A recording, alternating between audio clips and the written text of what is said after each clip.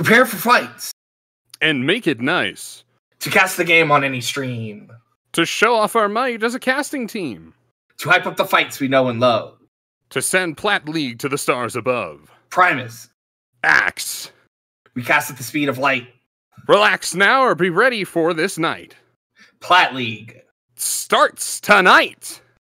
And welcome everyone here. We're here to week number one of our Plat Division. As of course we mentioned, I am Primus alongside my trusty partner in crime here, Axeman 87. How are we doing tonight, my good friends? I'm doing just fine, Primus, and I miss casting with you.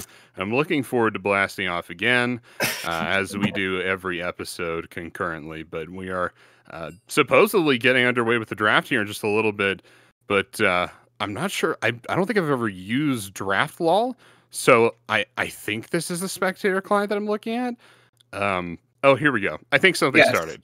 Yes, now it is starting. So, so we're we're we got lots of new parts going on here behind the scenes, but it's supposed to make our lives and your lives here at Zero Gravity Gaming far easier here. But the most important thing is thing as always is the two teams we are bringing you here tonight, which is going to be the company starting off this best of three series on the blue side, taking on a Burger Flip Plat here and doing a little bit of research into these teams.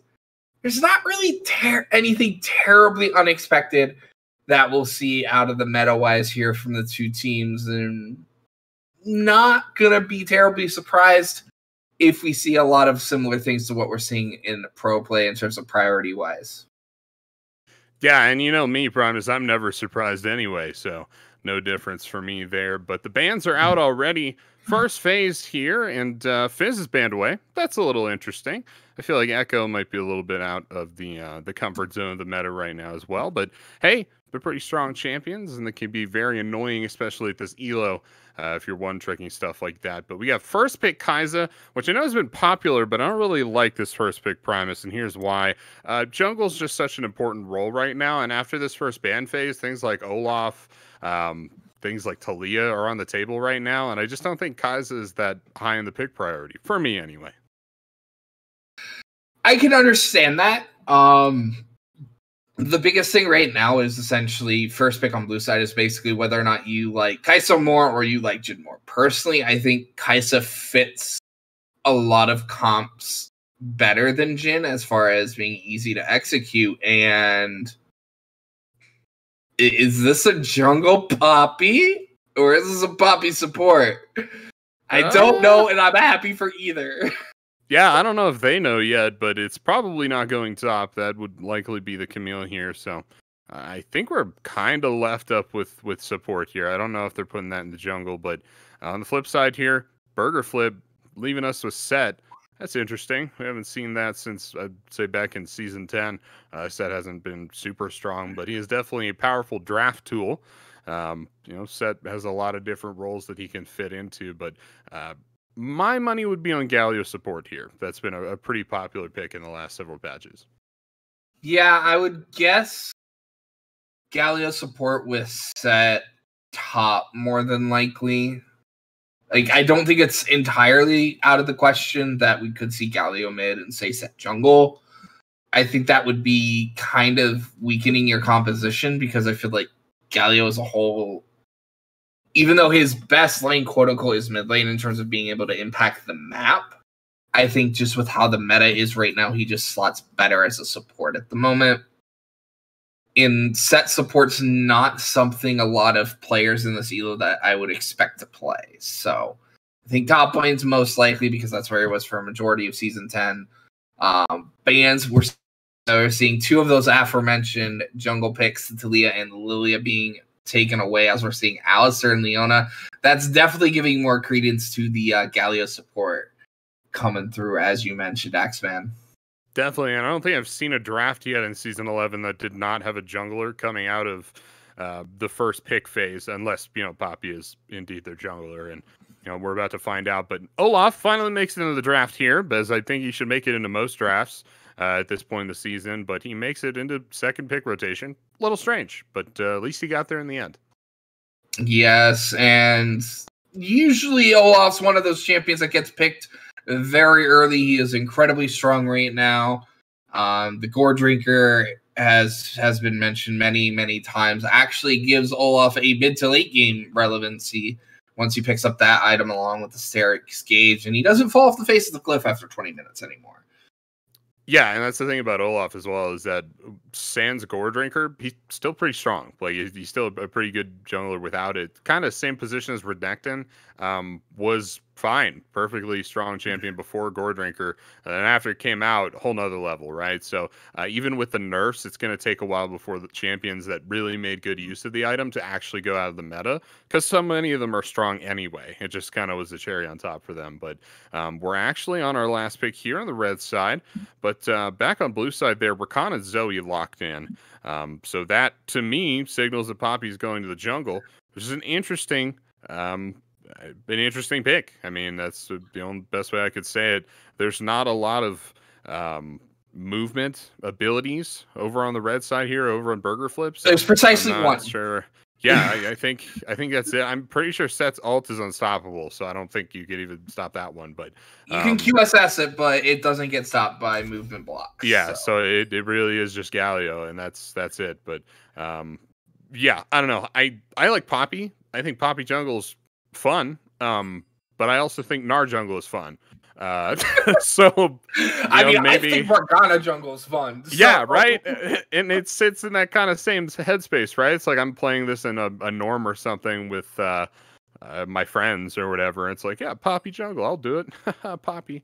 But um, yeah, this competitive play, we'll see how they uh, how they deal with that one. I mean, when you look at it, Poppy still does have other utilities other than just being a giant movement blocker. Like she does have still have great area denial with her ultimate. Her her CC's not great, but she does do decent enough damage for a tank. Like it's not Ornn levels of damage, but like you can't ignore it. So like Definitely, she does, yeah. she she still definitely has a position. I just am very curious as to why they picked it so early when literally every jungler in the game not named Hecarim or Graves was still in the was still on the table. But they went with it. I'm assuming it's a comfort pick um, for Fierce Sparrow on the blue side for the company here. And Camille in the top lane, I don't think we need to say any words about that been one of the biggest priority picks up in that top lane, aside from, of course, the Crocodilicus Renekton for pretty much the last two to three patches.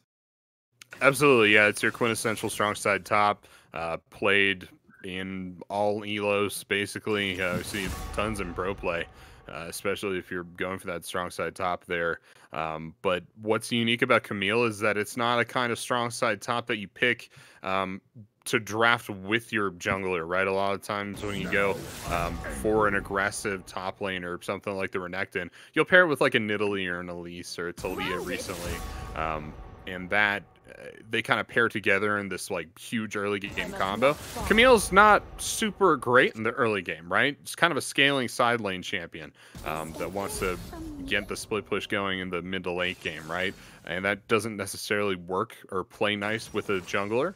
Um, so I think that kind of enables our Poppy pick a little bit here is that Poppy doesn't really have to go top for the strong side top laner. And this is pretty unique to Camille. That's basically the only top laner that has this playstyle. Yeah, because because the thing about Camille is that she has decent damage and decent gank setup, but she really doesn't start coming online until she gets her first item completion.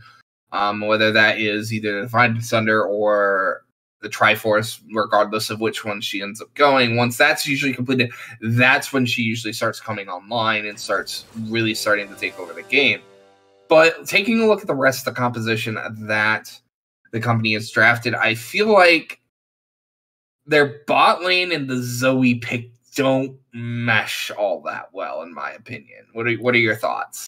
So the perfect Zoe game, I've always said this, is something like a 2-0-10 score line with most damage in the game. I'll tell you why. And it's that the point of the champion, right, uh, is to lock you down with a bubble even just once or twice in lane and get the kill on you, right? Now that doesn't end up happening because Zoe's been in the game for a while. People know how Zoe works. They're not going to walk into the bubble, not going to put themselves in a position where they get hit by the bubble because they know it means death.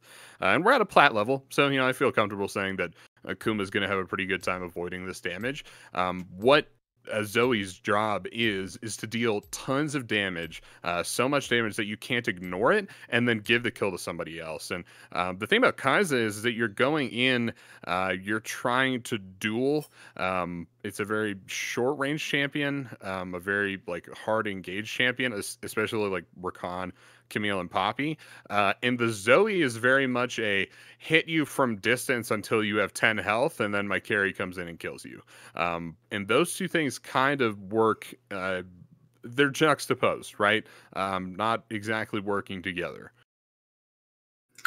Yeah, like like the way I always view it is I slot Zoe in into that proverbial sense as a artillery piece of a mid laner, along the lines of Xerath, Vel'Koz, Zoe. That's pretty much the only three.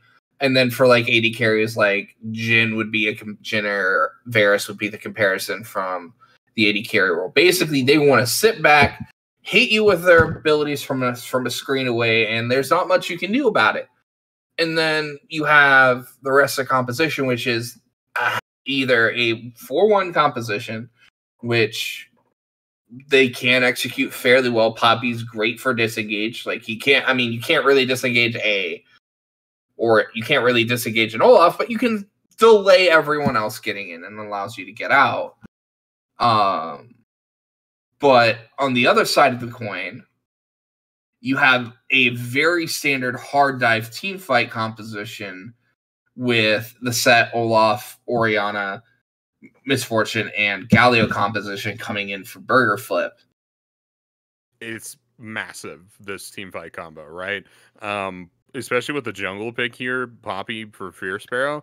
Uh, I don't think Blue Side gets dragons this game. If they do, something's gone very, very wrong for Burger Flip.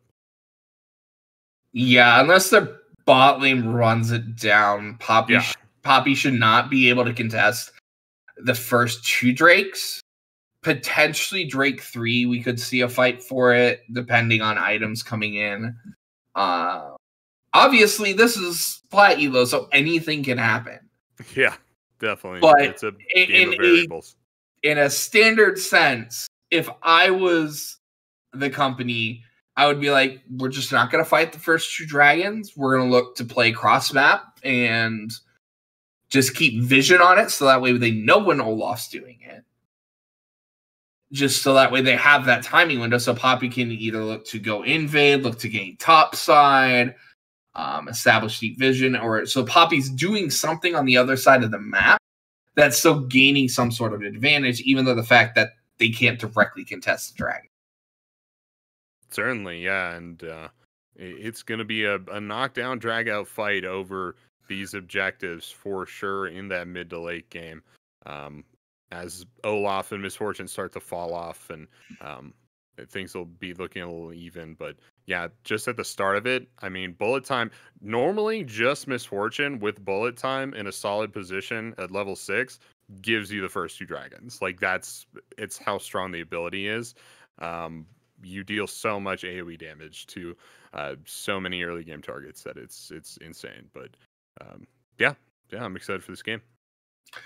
Yeah, and taking a quick look at look as we are getting into the loading screen. Nothing terribly surprising. Uh, Hailblade's Poppy is a little bit interesting. I think most yeah. jungle poppies that I see either go Dark Harvest or Electrocute. But Hailblades isn't bad. Um, Grasp for Camille's pretty typical Conqueror for Olaf Sett, pretty typical Phase Rush versus Electrocute. Again, pretty typical, but they're, they're the the Miss Fortune Keystone I do want to bring attention to because I, have been seeing it crop up a lot more lately lately in terms of professional play, and I always find it really interesting, which is this Arcane Comet build. I don't know if you've heard of it or seen of it, Axeman. Yeah. Oh yeah. Um, what what I, what I find curious about it is, of course, you start tear on the Miss Fortune. It's basically pure lane dominance. You max your E and just drop E's onto on the enemy's face over and over again, and make them cry. Sure, yeah. Yeah, and it's a, a potent build, especially into a team comp that, or a, a bot lane duo that wants uh, that engage, right? Um, the Rakan and the Kai'Sa are definitely two champions that like to go in, uh, have a lot of damage, have a lot of burst, um, especially with, you know, a Kathian Rain on Kai'Sa. So um, the E helps you poke them down from a safe distance, but it's also like a disengage tool, right? Uh, you could just drop it on top of yourself and then walk backwards through it and it makes it a lot more difficult to chase you down. And um, remember, Miss Fortune only needs a couple seconds by yourself for Strut to come back off uh, cooldown off of the uh, combat, and then you could just walk away from most situations. So uh, the E helps you a lot with just safety. Yeah, but I'm kind of curious to see whether or not we're going to see the traditional Gale Force build or if we're going to see a much more lethality focused build coming in for Miss Fortune. But we are on to the Rift for game number one here of this best of three series between the company and Burger Flip Pap Platinum. On the blue side, we have Boy versus Girl up in the top lane on Camille, Fierce Sparrow in the jungle on Poppy, Janka in the mid lane on Zoe, and Michaela Crespi, and of course, King Basilius down in the bottom lane playing Kai'Sa and Rakan. And over here on the red side, about to get invaded here by the five stack. We'll get that roster for you in just a bit. Yikes. Floofy Cat flashes away from the uh, invade there, but uh, over here on the red side, you have Burger Flip Plat and uh, that roster up in the top lane, Krau Sultan. Um, on the Sett in the jungle position, it's Remzi, V9 on Olaf. Mid lane, it's Kuma on uh, Orianna. Down the bottom lane, it's Carbon and Floofy Cat Ears, who just blew their flash there on the invade um, down here in the bot lane on a Miss Fortune in Galio. Yeah, I, I do want to kind of look at this Galio pick a little bit because, like, looking at Cat Ears' match history, they very much enjoy playing those hook supports. So the fact that they went for the first pick Galio, I found rather odd because his top three most played champions almost every season is Thresh, Blitzcrank, and Nautilus. And yet they go for the Galio, which, like, you can play aggressive in lane as Galio. Like, that is something you can't do. But I always classify Galio as much more a defensive support. For sure. And that's uh, kind of what his role has been fleshed out as in seasons past is just kind of, you know, he's get this big AoE taunt. You can just drop it on people. Um, uh, you could just drop it on people and get a lot of good disengage. But uh, what's happened more recently is that it's kind of become synonymous for hard engage supports, the Leonas, the Nautiluses, um, to like get more of a roaming role. Um, you're more of a like I'm gonna leave my bot lane alone and go mid or something like that. Uh, it's a very popular playstyle for Leonas and Nautiluses and stuff. Oh, here's uh, the tank uh, with the level two gank.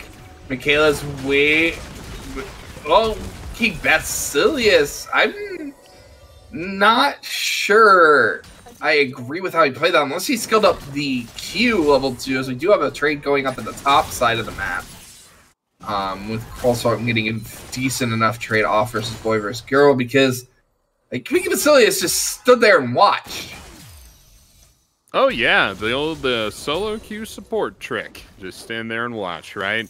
Um, I stopped. Like I can understand it if he if if he skilled up Q because if he skilled up Q, if he goes in to use the W, then he ends up trading places with this AD carry. But in my personal opinion, I feel like you generally want to you generally want to hold your E. I don't like this gank coming in yeah. from Fierce Sparrow.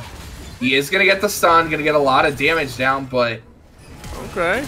Boy versus Girl having to trade flashes. Poppy is going to get the movement speed okay. to secure blood up in that top lane. But did you see that wave Boy versus Girl had? If yep. I am a top laner, I am telling my jungler, do not come top lane right now, please. yeah. That I'm was two this. full wave stack. Yep. Yeah, and they lost the majority of it. Teleporting back in Krau Sultan now And Boy versus Girl uh, missed their opportunity for a back timer. They're going to reset now, but Krau's just going to crash another couple waves into this turret. Yikes. Bot lane, things get worse and worse for the company. And we kind of expected this to be bad. You know, MF's a very strong early game AD carry. Uh, combo with Galio, one of the better supports right now. This is a very strong lane, but I didn't think it was going to be this bad. Here's uh, Remzi. And the teleport. That's just going to be a very easy oh. double kill. They're trying to get the trade kill, but there's not going to be anywhere near enough damage going down onto Floofy Cat Ears to get the trade back. But that is a very early TP down on Kuma. They did have the wave push out, so they're not going to be losing anything okay. in the mid lane. Unfortunately, Boy vs. Girl missed that uh, hook shot just by a little bit. It's going to get a fair bit of damage back down onto Carl Salton, so not going to lose out too badly, but that's already a 1,000 gold advantage to the side of Burger Flip Platinum just based off this massive difference down in the bottom. Yeah, really, and you also have kills on the Remzi and Kuma as well. Oh, the oh, dive top side. Dive top side. They're not going to have enough damage to finish it off, as uh, that haymaker is. Uh, Yikes! Little bit, little bit of a good tool to avoid getting dove, but it is going to push him very low. But it is Sett, so we all know he gets nine billion regen when he's below fifty percent HP. Yeah, and I think he's going to take the reset on this one, but he did have perhaps the opportunity to regen in lane. He's actually sticking around. Um, just channeling the back, I guess, to give himself options. But he got the regen on the Doran's shield as well. Um, but, you know, regen is regen. Still takes quite a while. Remzi on Dragon now. First Dragon is going to be Infernal. And this is uh, what we were talking about with this Poppy pick. Is that they're... It, Olaf can do this to a lot of junglers, right? But there aren't too many junglers that have, like, zero chance of going for first Dragon on Olaf. Um, Poppy's one of them, so go ahead and say. Uh, just not really able to. Especially with how far behind the, the bot lane is yeah. right now for company. Yeah, you, you just don't have the lanes for it either, right? So um, it's unfortunate. Remzi going to take the opportunity to counter jungle as well, put himself even further ahead. Well, he's actually down a lot. Yikes. So he does have the blast. Oh, the Poppy! Oh. The Poppy 2K IQ. The should be wow. Olaf. That's that that's one of the the cheeky little poppy interactions that not everyone knows about, which is that the uh, blast cone does count Yikes. as a dash. So uh, for for those of you who want to go play poppy in a solo queue game, if an enemy tries to escape with the blast cone, you know have a little way to make sure. Uh uh, you don't get to get away so easily. Few things are as infuriating as an Olaf main than procking Ragnarok so you can avoid a bunch of CC, and then going to blast cone over a wall and it just not working on you. I am you just hit it. Number of times you have done that. oh, greater than one. Oh, so many. oh, oh, but, uh, it's real bad. But yeah, taking a second here. Um, we're, we're looking at just about to pass the seven minute mark. Lanes fairly even across the board in terms of CS, other than the bot lane, which is a 15 CS advantage over to the Miss Fortune right now. Slowly going to grow larger due to the wave crashing into the Miss Fortune right now. But um, we did not mention it, but Olaf did go for a straight buff to buff clear, stealing the the red buff away uh, from the Poppy on level two. Um, which is why his his tempo was in that bottom lane at such a unexpected time, um, which gave his bot lane the advantage, but has really given Poppy the advantage to stay in this jungle matchup a lot longer than I would ordinarily think so. For sure, it's almost like he's trying to do too much, right? Um, go buff to buff to stealing enemy buff is a very aggressive clear to start off with, and then completely soloing Dragon, while it's something that Olaf can um, feels bad. It feels bad for any jungler because what you're doing is you're oh, sacrificing a bunch. Four man dive top. Yikes! This is going to be real bad for Kraus Sultan. Yeah, uh, there is a, a fairly decent way. Remzi is here to try to defend. Rift Herald is going to be dropped. They're going to try to chunk it down below that three plate mark. I don't think they're going to quite be able to do so. It should be about a plate and a half left. Uh, they are going to get the Oh, pullback wow. Their spare is going to take a fair bit of damage from the tower, but they're not going to get any more than those two plates Kuma has roomed up from the middle lane, but no deaths. Just a fair bit of damage onto Fierce Sparrow and those extra couple turret plates, but that got split up against a lot of people. I'm not the biggest fan of that, honestly. Yeah, I don't think that was a good play. I think it was a misplayed. I think if you get the turret there, it's probably worth it. Um, and the reality is, is that you have the damage with four of you to get that turret down before, uh, below two and a half plates, and then drop the Rift Herald for the turret. I think that would have been a much better move. Um, but I'm also not really sure what happened to the dive. Um, they just didn't dive Carl Salton. But I don't know why. I mean, Ramsey showed up. It's still 4v2. Um, it's not like Olaf has hard CC or anything to like stun you up under tower or something. Um, so, Oh, this yeah, is the, a, this a little is confusing. such a big feels bad as an AD carry Yeah. player. You, Yeah. you just see that large minion wave and and you just can't walk to it. Yep, and they're all casters too, right? So you're having a hard time last hitting these. I think they ended up missing like four or five of those. Yeah, it's now 30 the CS tower. down at the bottom lane. Yeah, yeah, it's it's not good. Not going well. Next dragon up in 40 seconds here. Ramsey's already in the area. Good boy. And Fierce Sparrow is topside. Setting up a whole boatload of vision in that river. Check out the river, Primus. What's going on Yeah, it's also different on the other side of the map. But we're gonna have to knock him. Nice two man shockwave. Kuma should still die though. More sparkles just is going to be just enough to ensure the kill on that back side here. They're trying to get some of this vision cleared out with the mid laner going down, but Kuma does almost have TP available.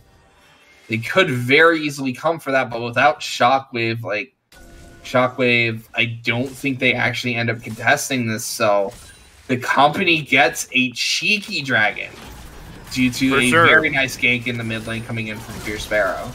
They're gonna start it up anyway. To be honest, I feel like between the three of them, they could maybe walk up and contest because one good bullet time would really flip that fight on its head. But they're not gonna go for it. Um, not gonna go three v four anyway. But it, that's really the whole purpose of their comp is that even three v four, Olaf running in into Galio into bullet time should be able to win that fight for themselves. And I, yeah, see. oh, yeah. Yeah, I mean, at least they get something with it. Yeah, that should might be get this possible third as well. because Kais is chunked well below half. Fierce Sparrow is here, but I don't think he I don't think Fierce Sparrow can do anything on this poppy to stop the tower from falling down. well, they're giving it their best why, shot. why are you not walking why are you not walking to your shield? Yikes! Your shield?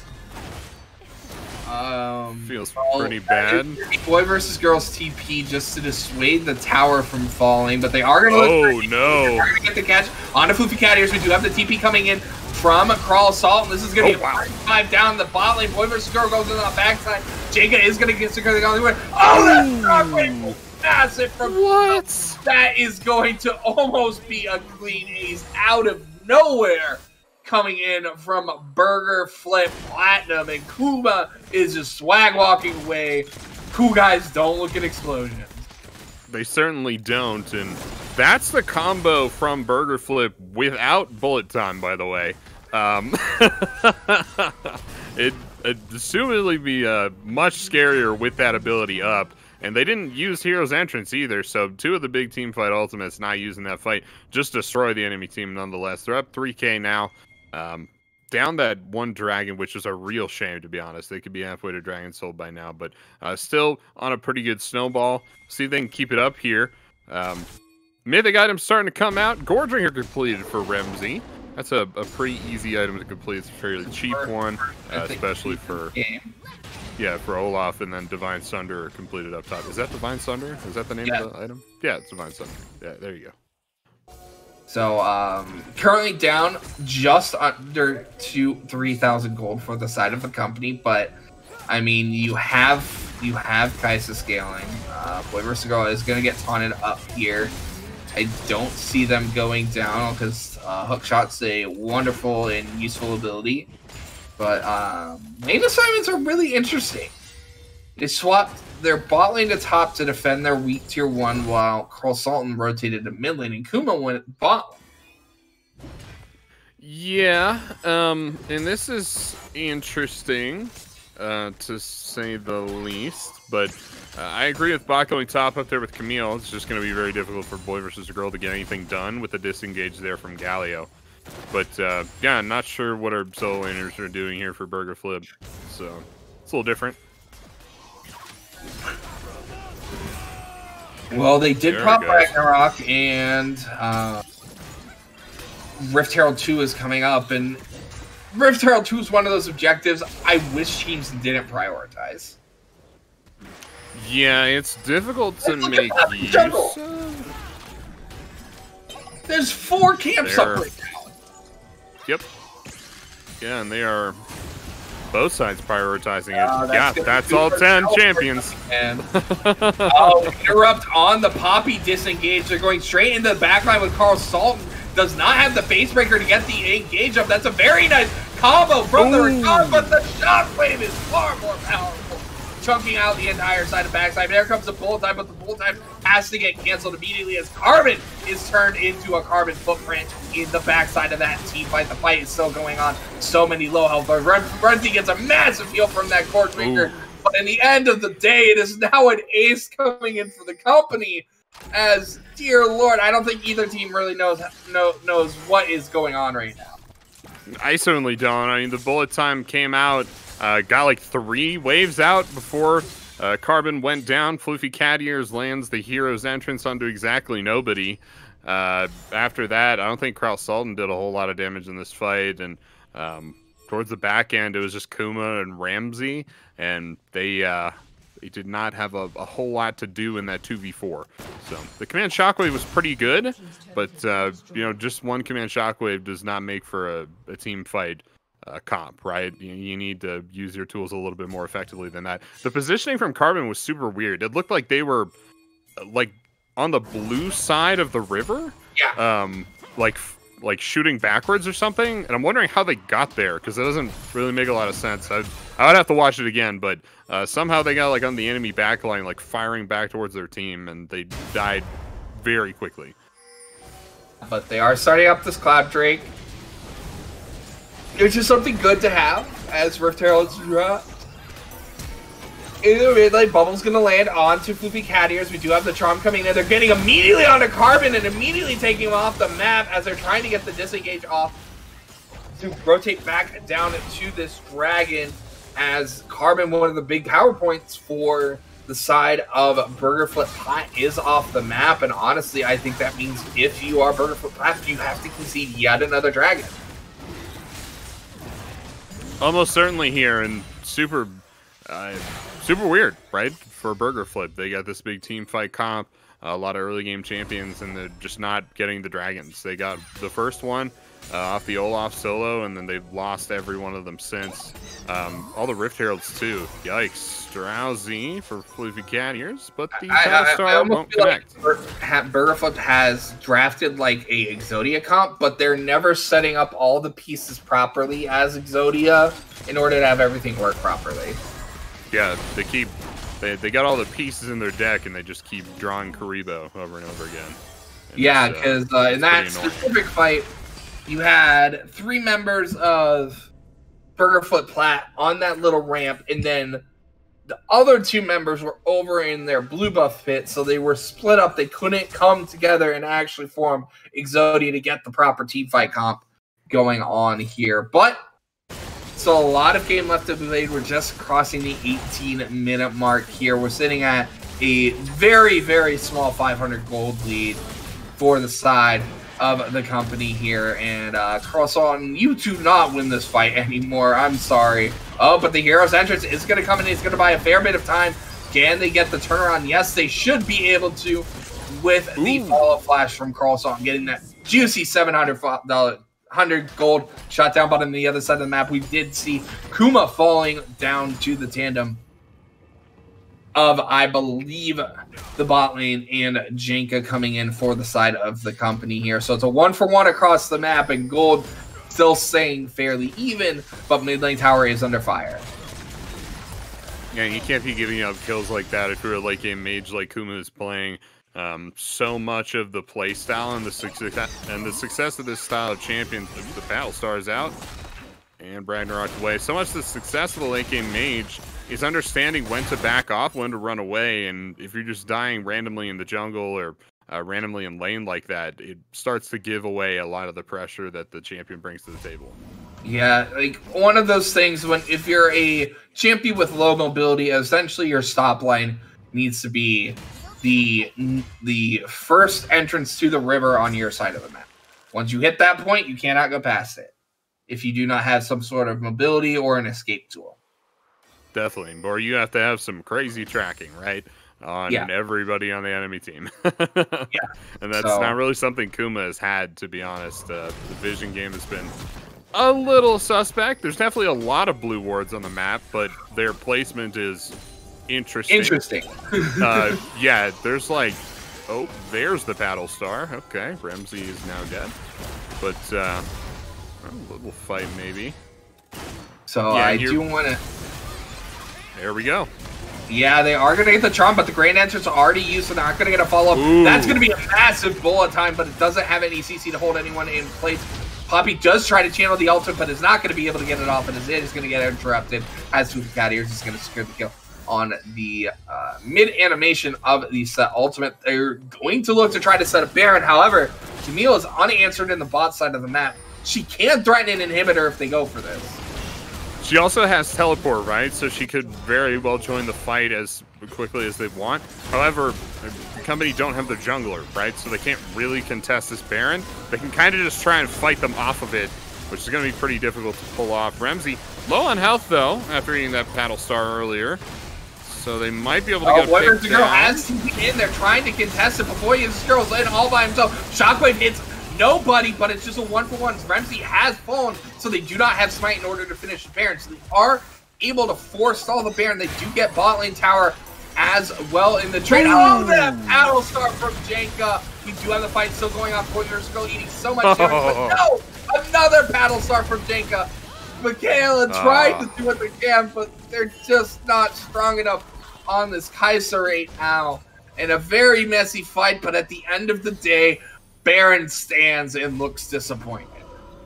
So, Janka on the Zoe is massive, right? Um, tons of damage, so much. But remember at the start of this game, I was saying that a perk, uh, the perfect Zoe game looks like dealing the most damage in the game, but giving all the kills over to a carry. Um, and I stand by that, right? Jenk is getting these kills, getting the damage down to enemy members of the enemy team, but it is burst damage, right? And burst damage is only valuable up to a certain point, uh, and only valuable up to a certain point in the late game, too, right? You're looking at a team that can get pretty tanky.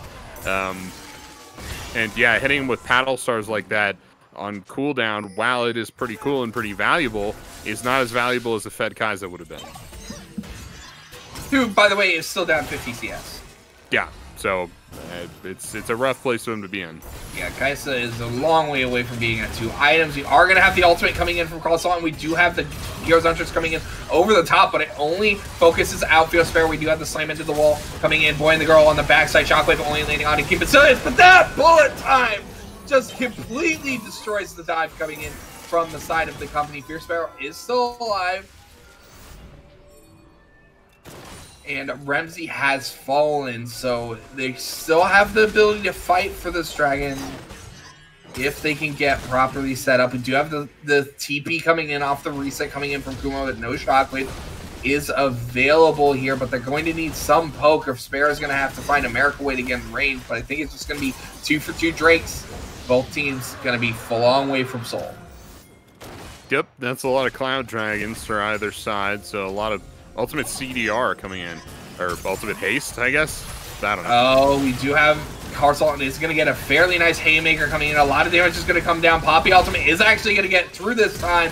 Very nice use of the dash combination coming in from King Basilius, even if the Paddle Star, excuse me, even if the Trouble Bubble goes wide, but it doesn't matter when you get a Paddle Star right in the face coming in from Janka as Janka catches that fat fat shutdown on that Miss Fortune here, but it's still anybody's game as we're crossing towards that 24 minute mark and to be honest, I think with the position Zoe is in right now, as long as they can get Kai'Sa and just funnel some farm into her, I don't see them losing this game because this Zoe is absolutely massive. And if you look at the comp for the side of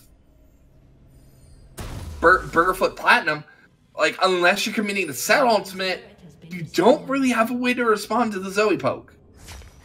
Yeah, not really, right? Other than just trying not to get like hit by it, I guess. Um, obviously, it's going to be a little bit harder to hit Remzi if he's got Ragnarok up. You're not going to be able to bubble him.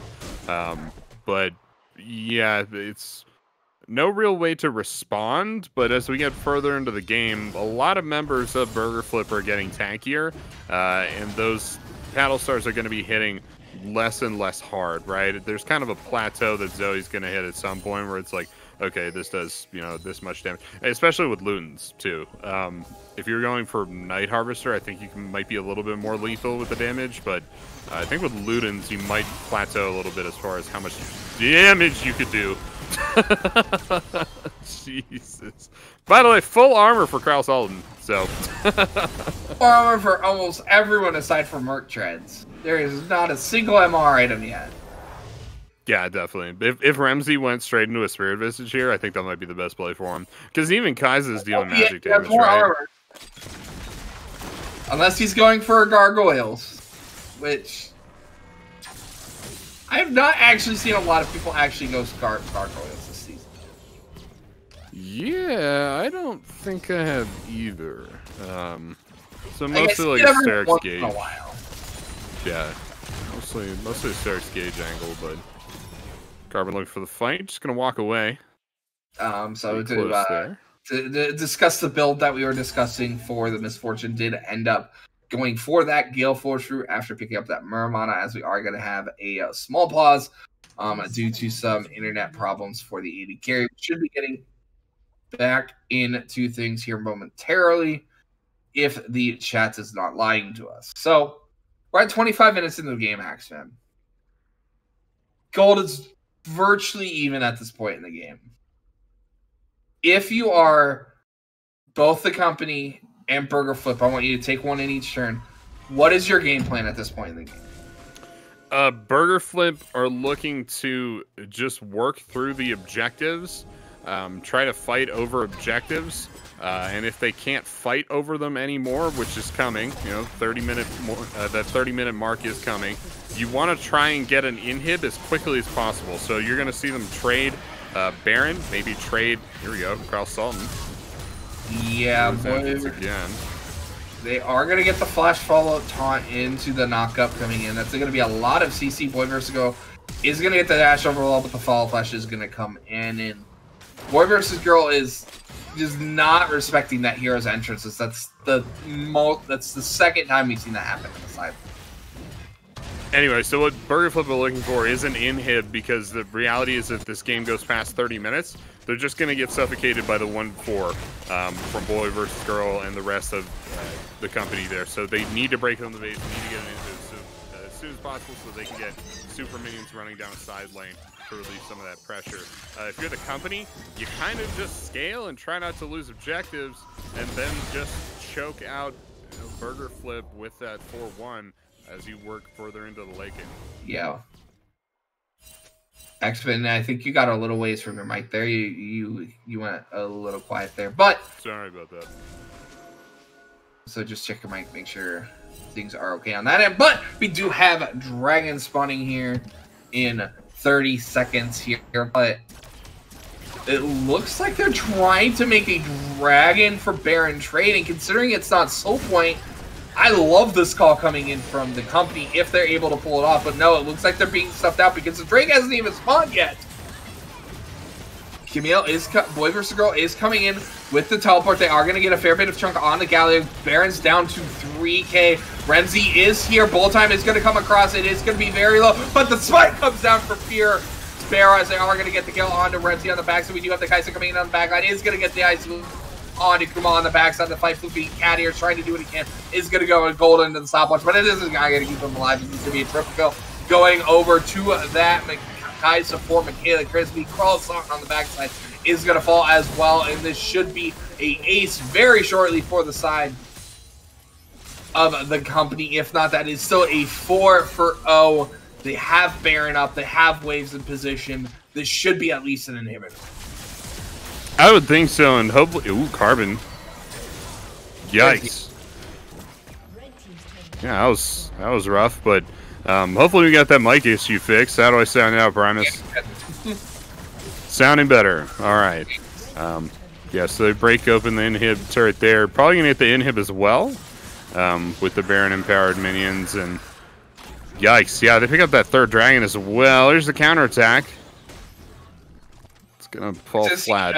Unfortunately, Olaf's throwing arm isn't fully up to stuff. He can't quite throw it far enough to catch up to uh, catch up to the company here, but they do secure that inhibitor off of a very good team fight and a very well called Baron play. And Michaela Crispy on this Kai'Sa, now sitting at 7, 3, and 8, is absolutely massive, backing with almost a full item's worth of gold.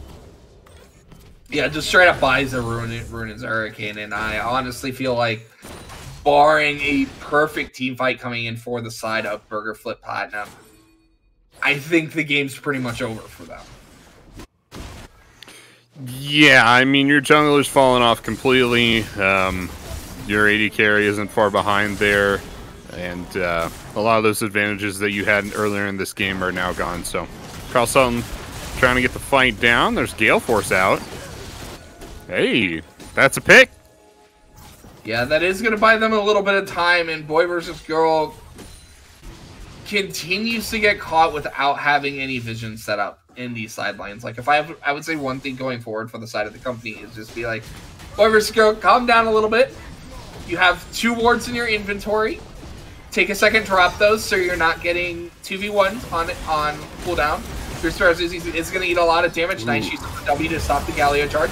But Ramsey does not care. It will just stand on your face, but it's not going to do enough damage to secure the kill, as it's just going to be a very quick and clean 3 for 0 as this Kai'Sa despite being down so much CS, still down a lot of CS, is fully online and is absolutely terrifying at this stage of the game. Yeah, I'll say. Um, this is quite the lead. Kind of came out of nowhere, too, right? Things were pretty even just a couple minutes ago. but uh, And then uh, Baron happens. yep. Yeah, this Baron was... followed by another ace. it's one heck of a Baron power play here, and they're going to end the game pretty convincingly. Carl Sultan do anything about this? We'll see. They're gonna try, but I don't think so. A couple more auto attacks. Oh, nope, nope, they might be able to. Fierce Bear's not gonna have the damage. Okay. They are going to stall out the Nexus, but they did lose a second inhibitor on the back side of it. And with Supers already crashing in the mid lane, there's nothing on the map that they're going to be able to do right now. And it's pretty much them just trying to get, put band-aids on their face right now. Yeah. Um, and they weren't able to break open an inhib uh, like I had been previously talking about. Like they, if they had bust open the bottom inhib, um, it would have been relieving a lot of pressure for them right now, but they didn't, right? You know, they, they weren't able to get that. They lost the Baron play um, and didn't trade enough back for it. So, uh, yeah, they, they just kind of just kind of suffocating now. Even without the Baron buff, uh, the company shouldn't have too hard a time putting the uh, the stranglehold on them now. Yeah, it's pretty much only a matter of time at this point. Um, as uh, finally see so uh. defensive vision being set up for boy versus girl down in this bottom side to allow them to split push effectively here. Janka is uh, a little bit out of position here. It's going to get taunted up. Ragnarok is coming in. Stopwatch is going to oh buy but no support coming in quite yet. Very nice engage coming in from from King Bacillus. We do have a dive on the backside while Kai'Sa's just eviscerating the front line of of Burger Flip, but on the other side, Boy vs. Girl is going to fall. So it is currently a 2 for 0 for the side of Burger Flip Platinum, but Jenka is able to secure one kill on the backside. Kai'Sa is here trying to get the assassination, is going to get the Ooh. assassination on Carbon, trying to get the kill. No, the, the shot man distance going to be too strong coming in from Kuma. Is going to take Mikaela off the map here, but we do have double stack super minion waves coming in. Shockwave is going to come in from Kuma onto Jenka. Jenka trying to get the damage down. Nope, but the dash from Fierce Bear with the follow-up Q should be enough. But no, the flash is still up. They're trying to get on to Jenka. Fierce Bear is going to cut out the top on the other side of the map. Kuma's trying to reset, but do have su do have supers on the Nexus right now. Nexus is down to 200. 200-ish HP. Fierce Bear trying to get the damage down down is not going to quite. Okay.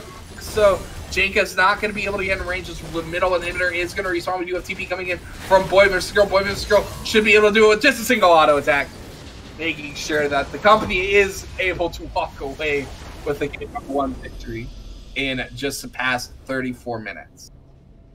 It was an exciting win there and uh, a race to the finish for uh, the company on the back end of that game pretty convincing win. I'll go ahead and say things look neck and neck, but uh, you really just had to, um, I guess, scale out of the the mid game, and then it was game over there uh, for for the burger flip. But um, yeah, it, was it was super sad to see. They had a great early game team fight comp.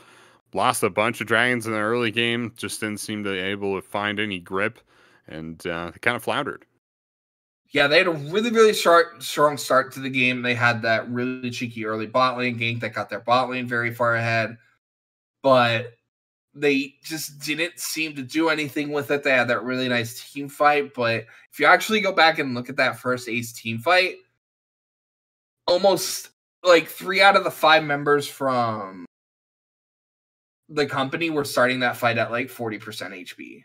So it, it was one of those things where outside of that one that first about 10 minutes of the game like yes it was always very even but i felt like burger flip platinum was never fully on the same page in order to make this composition work yeah um that that definitely felt like what was going on there um that not being in the same page uh portion but um some interesting charts you're looking at. Um, just in terms of like gold earned, uh, Poppy actually got like a 2,000 gold lead just on the Olaf, right? Um, it's pretty nuts. We didn't really have high hopes for the Poppy, and it seems to have gone over pretty well, uh, especially as they they scaled into the, the mid game there. But um, even just like damage to champions, uh, you know, Poppy still outpaced the Olaf. Um, Olaf actually had the least damage in the game, less than Rakan. Yeah, so it's uh, it's pretty damning.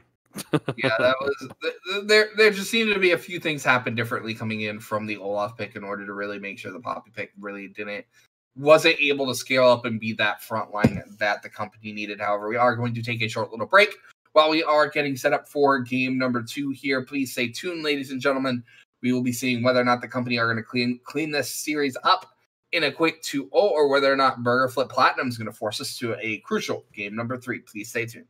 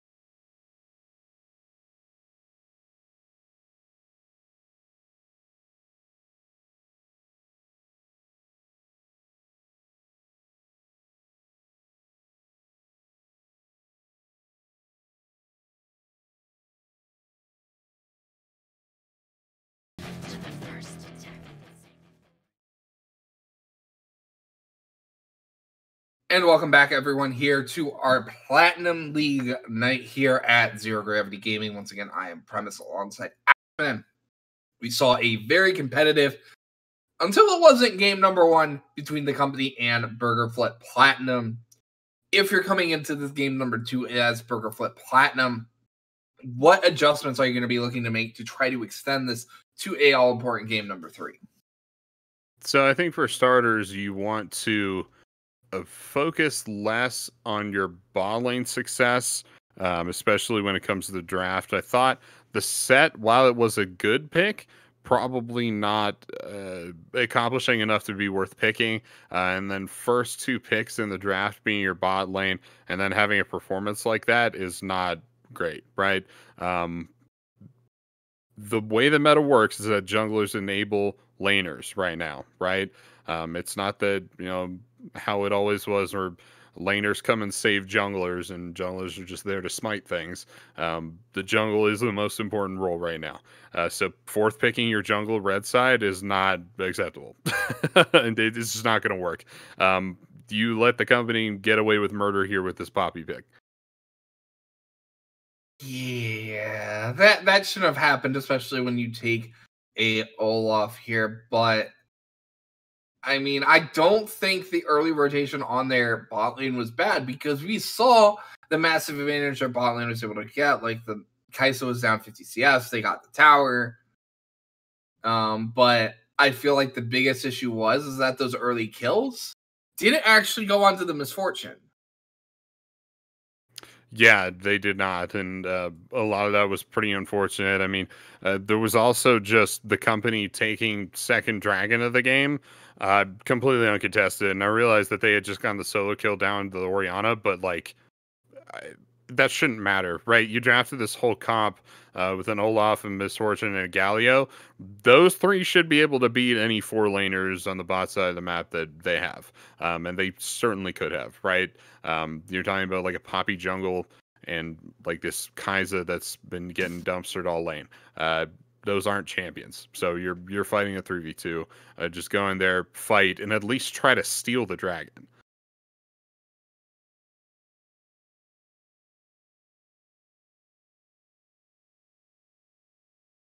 It looks like we're getting a new draft here going, and then we'll get into this uh, into this draft um, tool, whatever this is called. What is this called, Primus? Do we do we name this?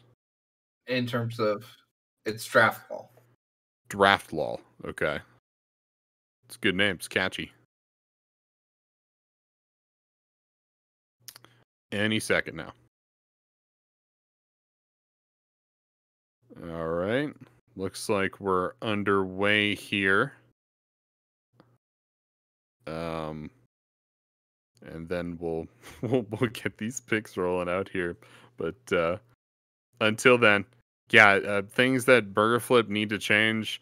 Um, I just, I don't know. I mean, it didn't seem like the Orianna pick did all that much. Uh, I think Jenka pretty much had Kuma's number for the majority of that game. Uh, just too many solo deaths, right? Um, and there we go. We're into the actual draft now. Both teams are on the same sides, by the way, and we're in the uh, ban phase already. The company with the uh, strange bans, but I mean, you know, I, I think Burger Flip kind of proved that the meta isn't necessarily on their side here. Yeah, and we're seeing the same two early bans from Burger Flip Platinum on the other side of the coin. So so far, it's same old, same old. Yep, everything the same so far. Same band there in Viktor 2. Let's look for this blue side first pick. I'm looking for something that's not Kai'Sa here, Primus. Um, it's going to be Kai'Sa. Mother of God. I uh I just want somebody to first pick Olaf, man. That's all I want. you know that's not the meta right now. The meta is first pick AD carry or you or, or you first pick something like Taliyah. You don't see first pick Olaf. I just want people to first pick Olaf always. Aphelios coming in red side here, the pick for Burger Flip. Um, once again, just like huge focus on the the bot lane. Um, but uh, should be support second pick here if they're drafting a, a similar draft style. Ooh, Lilia hovered briefly. I'd like to see that. There we go. It's locked in. So they're they're they're changing things up a little bit. We did see Lilia get banned in the second phase of the last game by the company, and uh, Burger Flip Platinum's like, you know what, we're we're not gonna wait to uh, second pick phase to uh, pick jungle this time. We're gonna pick it a little bit earlier, um, and they could also potentially get support counter pick um, going into R three here. Uh, Ooh, the Jax, I'm assuming that's a top lane Jax. should be yeah, especially if we're expecting uh, this top laner to go for a similar playstyle. Jackson Camille are pretty similar. You just kind of scale into the late game, and then nobody can match you in the side lane. Uh, you win one three one or one four out uh, in the mid to late game there. But yeah, Jax jungle is a thing. I don't think it's a very good thing, but you know it's a thing. Alistar locked in for the company. Okay, would you make the argument what's better, Poppy jungle or Jax jungle? I think probably Poppy. Um, I don't think late game junglers are very good right now, but of the late game junglers, I think Jax is probably one of the worst. On that, we would most likely agree, but that is a, a Malphite, and one thing Jax does not enjoy laning against is a Malphite.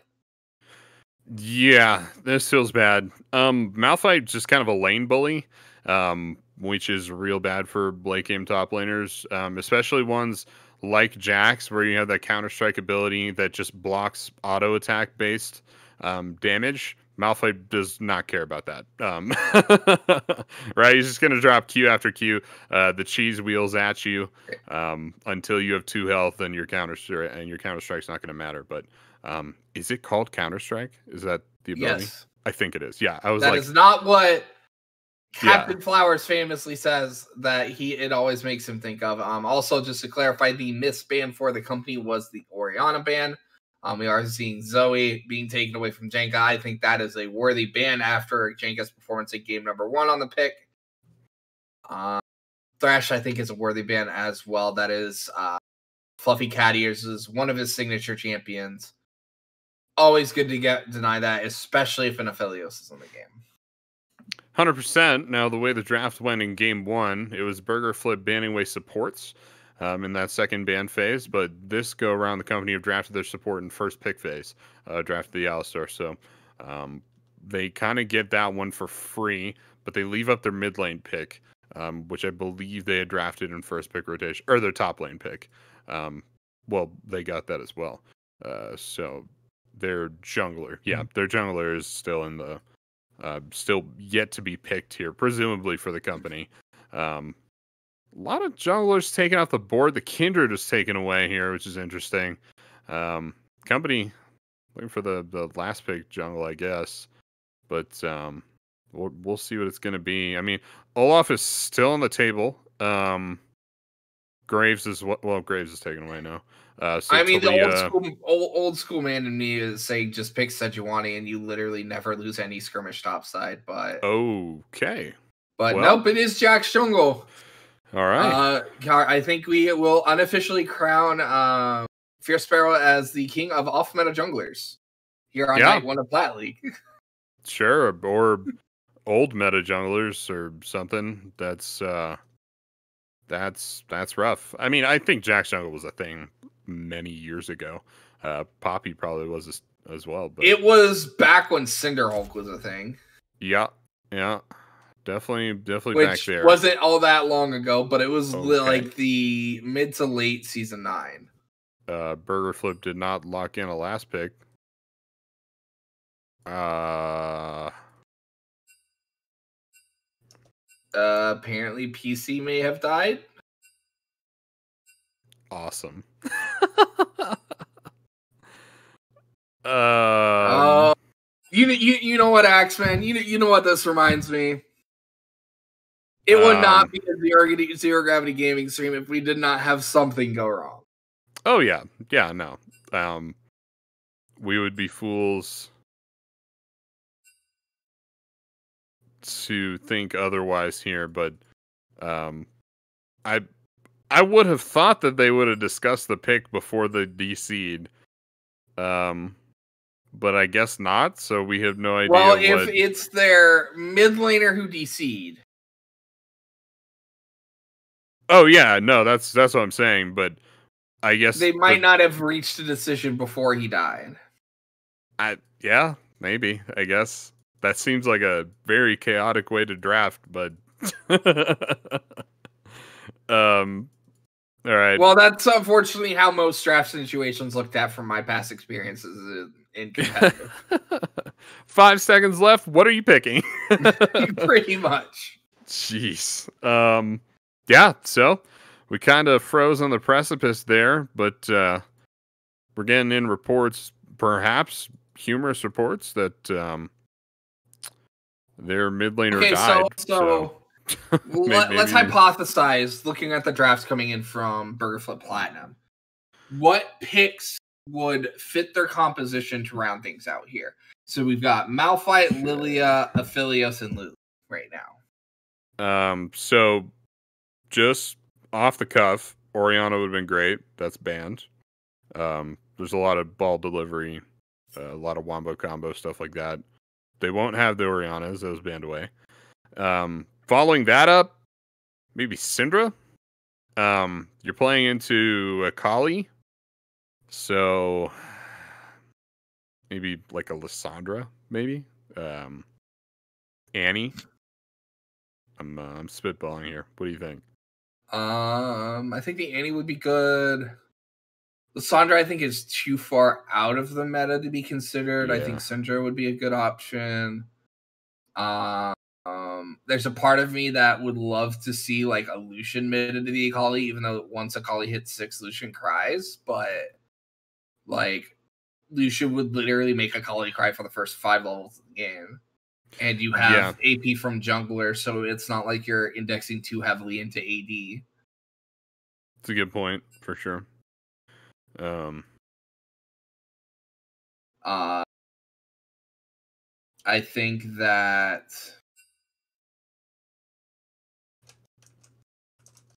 um, we could see something like the Yone wouldn't be bad if they wanted to go that route. It could be good, yeah. I like the the Yone option. It would depend on, uh, as so many mid laners do, on Kuma's like strength and who they've actually played. Um, you know, because I don't want to just like dump Yone on somebody who hasn't played Yone, but oh, um, oh, obviously not. Yeah, yeah. So, um, same thing goes kind of like for Lucian's too, um, as well. But uh, yeah, definitely some good options there. Um, um, or if you really wanted to go an old school counter pick to a Akali, the uh, Kennen mid lane. That might be fun. That. that. might be fun. Um, they killed because Akali goes in a shot. You just press R and yep, you press R and just walk around. Maybe channel your dance animation. Um, but uh, they killed my boy uh, Imperial Mandate Kennen, so I'm very sad. That doesn't work anymore. If it ever did. I'm just trying to look here what would be. Hmm. Okay. Starting to think maybe Kuma actually died. This might turn into a funeral stream. Uh, um, I doubt it. I think they uh they're they're one of those they're they're one of those people who don't have an SSD, so it takes like five uh, years for oh. their computers to start. Gotcha. Yep. You gotta get the SSD, everybody. If you don't have one, all you. Uh, yeah, your your public service announcement of the day. If you could get an SSD, get an SSD. Hundred percent. It's worth the money. It's worth the investment there. But um, I don't know. Promise. You want to throw it to a break? Are we gonna talk yeah, about this I think, draft I think more? we should. Uh, we, we should throw it to a little bit of a break here while we're waiting for the situation to resolve itself. Um, if we get any further updates, we will be sure to let you guys know. Um, we appreciate all you guys hanging with us and bearing us with us through this. We will be back with you guys hopefully in just a few minutes.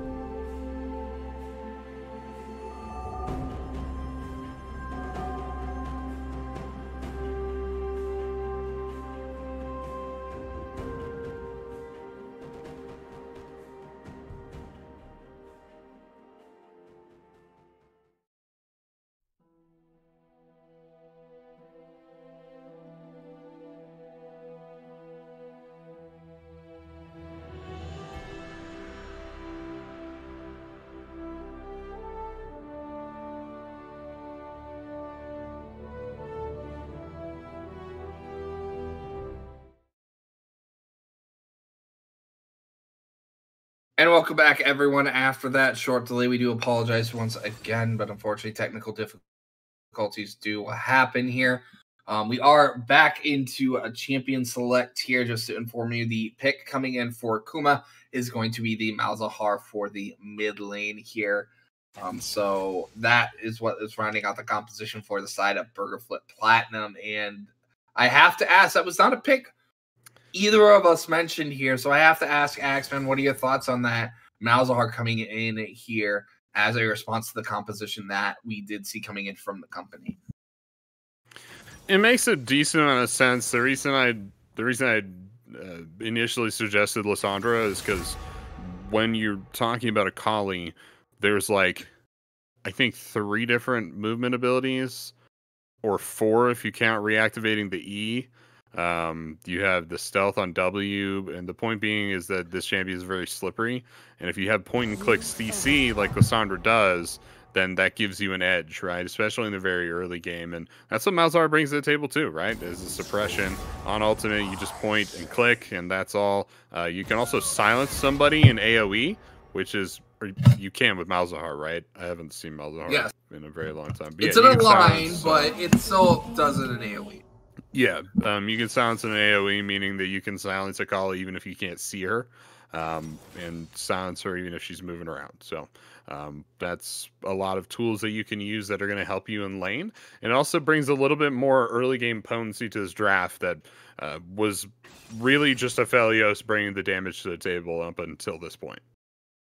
Yeah, we are. Uh trusty trusty production guy mentioned that Galio would have been a great pick here, but uh, we all agreed that uh, that means there's uh, no damage coming in there. They're just kind of throwing a little bit hovering Seraphine. Seraphine was the pick here, but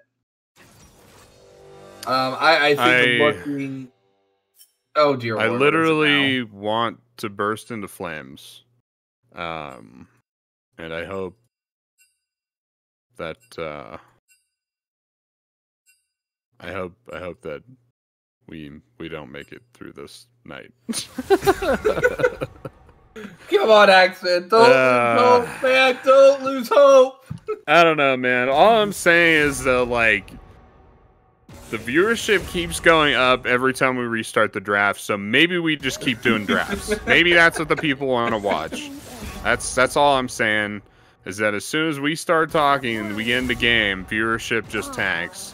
So maybe we just keep doing drafts all night. I don't know. Yeah, I I think we just become the draft special, uh, the draft special cast where we just talk about drafts for three hours.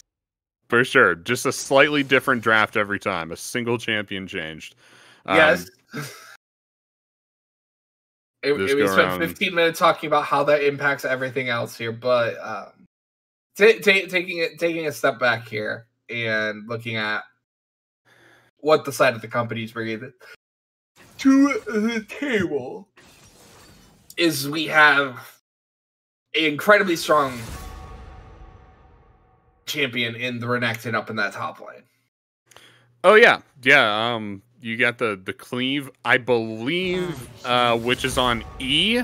Um, Q. It might be. Uh, the cleave is on Q. Um, if you're talking um, about the AOE spin around thing, yes, it's Q. I'm talking about the the armor, armor shred. Reduction. Armor shred I think it's his empowered E. It's his empowered E, yeah. Yeah, so empowered. It's either slice, dice, or both of them. Um, but whichever one it is is going to be helping a lot with Malphite, who would normally want to stack armor. Now that's not necessarily like a counter to Malphite because he's still going to be stacking a bunch of armor and Renekton's still going to be trying to deal a bunch of physical damage. But it is going to make this a much more, um, you know, potent uh, matchup up in the top lane. And Renekton, I, I like the switcheroo they pulled, right? Um, Fierce Sparrow drafts Jax. Obviously, everybody thought that was going top. It's a late game champion. Um, Kraus Sultan drafts Malphite to deal with that and be able to bully him out of lane. Whoops, boy versus girl is actually drafting Renekton, and now you have to bully like the quintessential lane bully. I don't know if Malphite can do that. We'll have to see how it plays out. Uh, the answer is until he runs out of mana, he can't. Yeah, that's the um, issue. and he's also playing against somebody that, uh, like, the answer to lane bullies is either you stay back under turret or you just go kill them. And for Renekton, you probably could just go kill him, like sometimes, right? Um, given the right scenario. So it's uh, a little spookier now for Carl Salton, where before he just had to poke down this late game champion. Yeah, because one of the biggest things that Renekton brings to the table is that he's resourceless and he has built in sustain. So the Comet Malphite will only go so far. Certainly will. Looks like we actually got through a draft Hallelujah. this time. I don't want to think about how many times we tried to redo that, but uh, at least it didn't get into the enough. It was enough times. It was enough times. Um, I also want to point out that as soon as the draft ended, viewership did tank. So maybe we just restart it. I'm just throwing ideas out there. I'm just throwing ideas. No, we can't restart the draft. Okay, all right. We're, we're gonna do the actual game, I guess, but it's whatever. Spectator delay now. Um, I don't know. Anything else we can say about this one? I feel like this pretty Um, weird. Um, um, there, there, there's one other thing I do want to talk about is uh, we saw Ramsey put a lot of pressure down in the bottom lane in the last game. Something's telling me that's not going to happen this game, given the fact that he has an Aphelios and a Lulu. Yep, and I think it's a pretty good point. Um, do you think he goes Moonstone with Lulu? Is that possible? Oh, no, hundred percent. He's going Moonstone for on Lulu. Do you think? assuming um, they get they get enough gold for it. The bigger question is is whether or not Lily is going in. Yeah, that's what I'm saying. Do you think they both go for it? Because I've heard it that it's much better if like two people on the team are doing it. Um, Um, I could see it in this game because you Yeah. do have Malzahar and Malphite does provide enough AP damage that you're not going to be lacking AP damage if you go double Moonstone. My only concern is that it takes a lot longer for Lulu to hit the two items than it's going to take for Lilia to hit the two items. So Yep.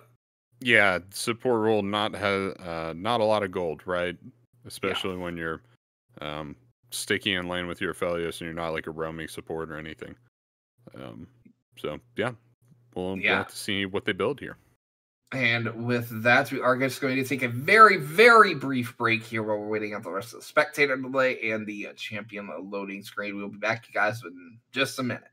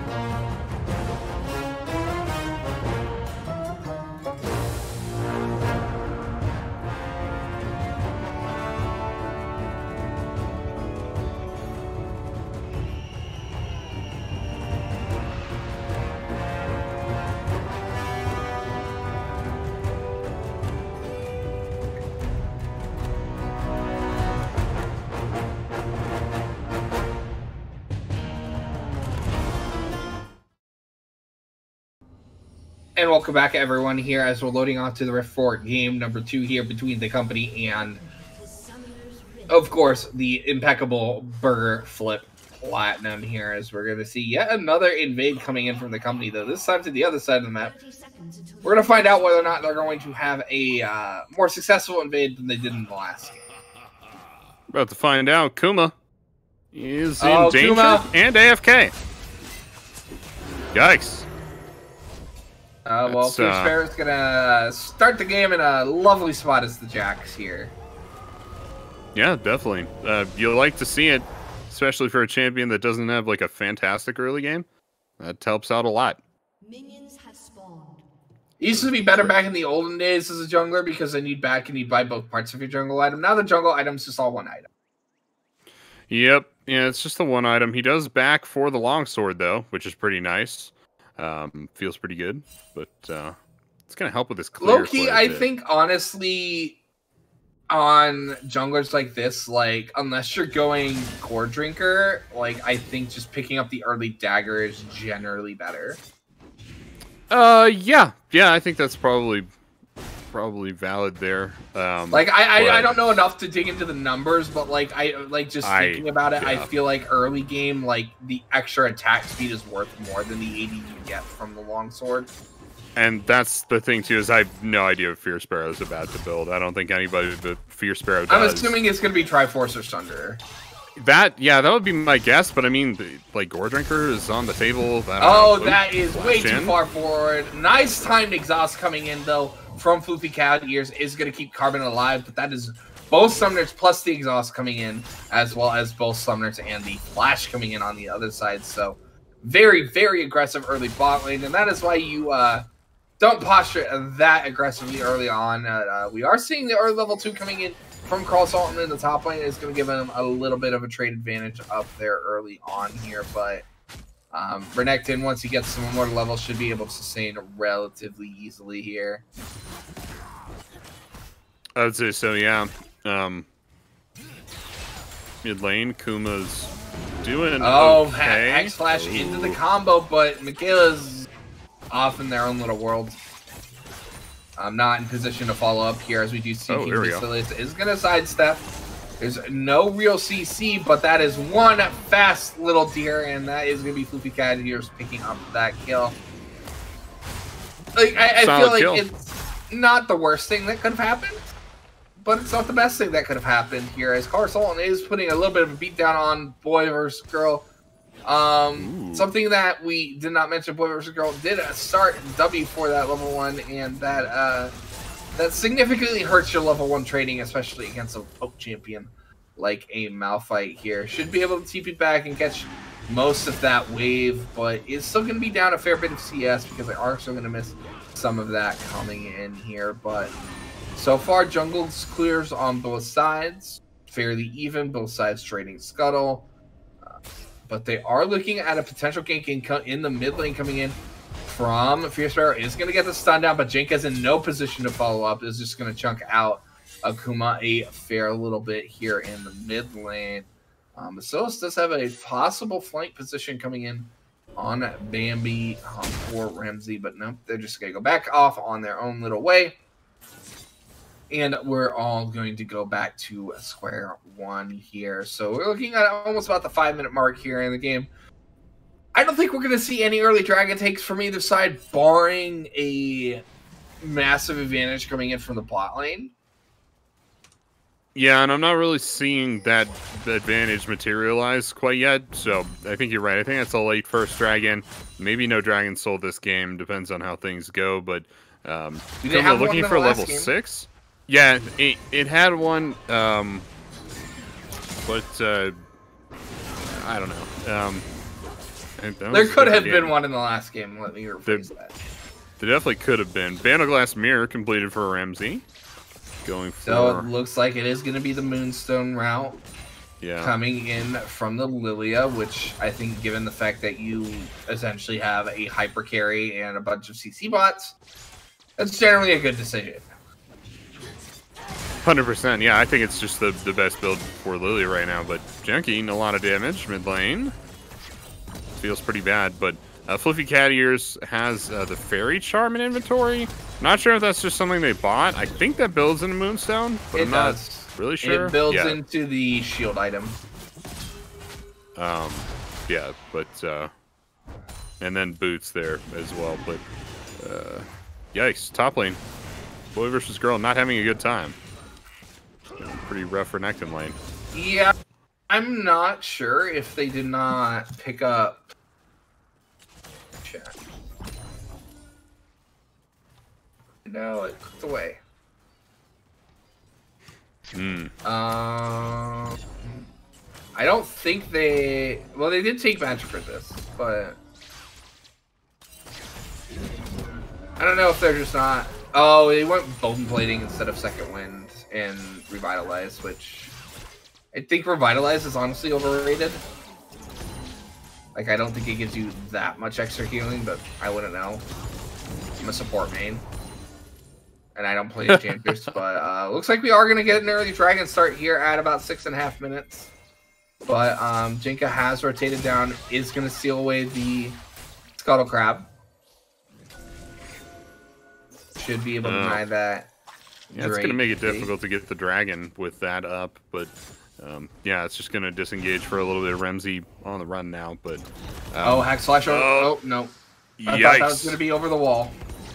I I think so did Basilius there, but didn't didn't quite get there. That's rough. Um, That was a. Uh, that was the. Uh, every time I'm, uh, every time I get ganked in plot lane and I try to flash over the wall, that is what happens. to me. I don't make it over the wall. It's rough. It's hard to hard to have that happen. Kuma hitting level seven. Sat up up for a while. Um, not a real opportunity to use this. Janika's playing very defensively. Also, just has the Merc Treads. I don't know if Merc Treads reduce suppressions. I think they might. No, No. Okay. So it is not But, included uh, in that. it is going Knock to and suppressions help, are not uh, included. Uh, we do have a combo help. coming in, but oh, there we go. Tail is rather low. We do have the polymorph coming on the back, so we are going to have the root coming in. But a very nice jump coming in from Fierce Sparrow, but we are going to have TP coming in from Kuma. Fierce Sparrow is going to secure the kill on the Floopy Cat ears on the backside. They're trying to get in range to potentially drop down that flash forward. Headbutt is going to come back in the tower onto Carbon. Carbon is going to die to the tower for the solo kill. Going over to the side of King Basilius, we do have Janka coming in from the mid lane. It's going to go in with a perfect execution, trying to get in range on to that. Bambi is going to be able to have some little bit of benefit for Dinner here. They are able to secure the kill just before for Kai'Sa falls, but the Color Sultan is going to come in with the teleport, and the Ensemble Force is able to get the kill on the backside of it. But that Oh. the triple kill Okay. at the end of the day for Janka, and uh, that is It's bad. terrifying Yep. if you're the side of uh, Burger flip. Burger Flip. That's not good. they do have tools to deal with the collie. Like, Yeah. Yeah. like they do have the polymorph and they have the Malzahar ulti. So like, it's not like they have no tools to deal with the Akali, but Akali getting three kills without any offensive items is always terrifying. Yeah, um, things are pretty bad right now. Boy vs. Girl gets a couple plates for free up in the top lane as well as Krell Sultan had teleported down to the bot. Now Krell Sultan's trying to punish, but to be honest, I think Boy might be baiting here. He's got ult up. He also has a support with him. Yeah, there you go. Yeah.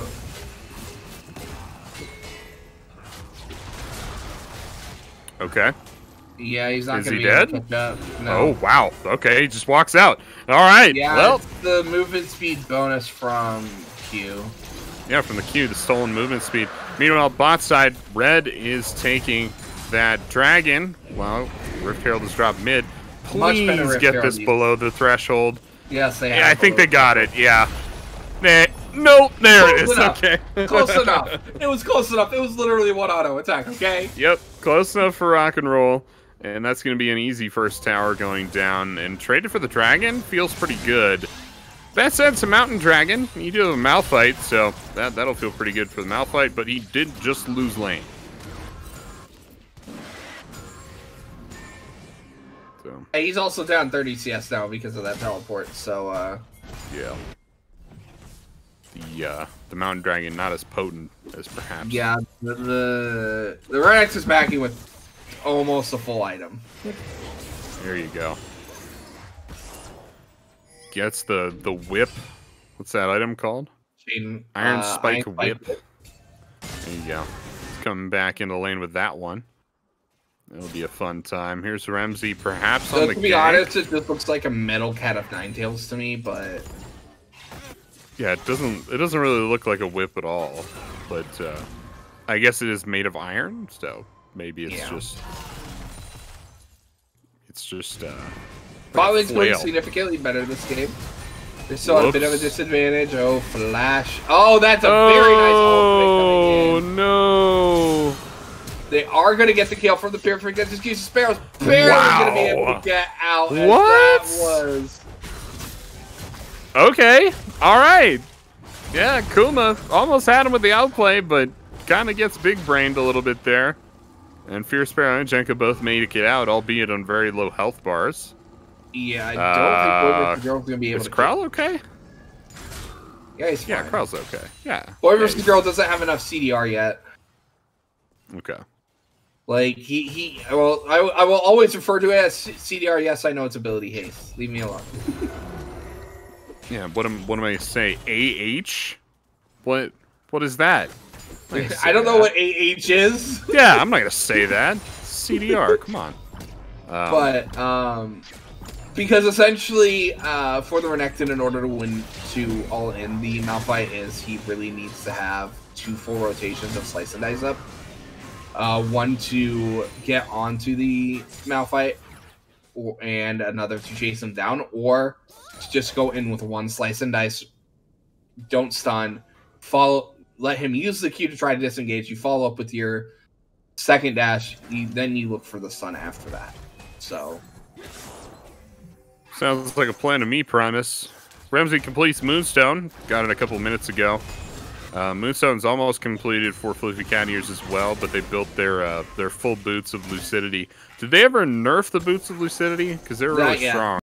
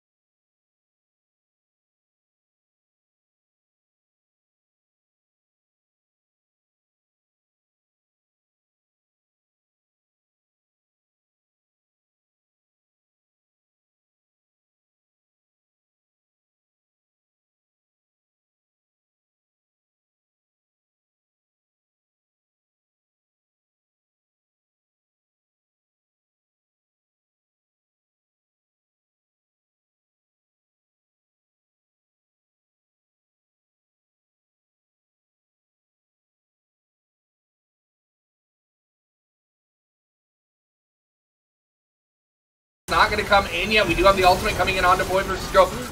Immediately taken off the map is Ramsey. Boy vs. Girl living so long on the back line, just taking up ev everything. But Car but Carbon Carbon has blue and white. Blue and white means you're all go black and blue. He's still trying to output the DPS. Can't kite it out long enough as all of his support is gone. Carl Sultan is the only one left on the map. Carl Sultan should be falling in just a moment here.